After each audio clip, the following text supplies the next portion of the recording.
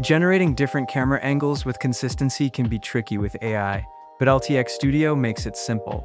Today we'll show you how to quickly build coverage. To get started, jump into the image generator.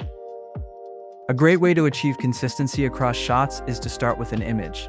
Then, use an image to video model to bring your shot to life with motion. Firstly, create a medium shot of your character.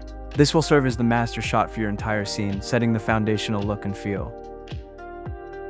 Once your master shot is set, you can easily shift camera angles and shot types with simple prompts by setting your image as an image reference. Wide shot from behind. Side angle close-up. Close-up from above. What are you looking at? LTX Studio uses context-aware image models to generate characters that understand emotion, expression, and consistency.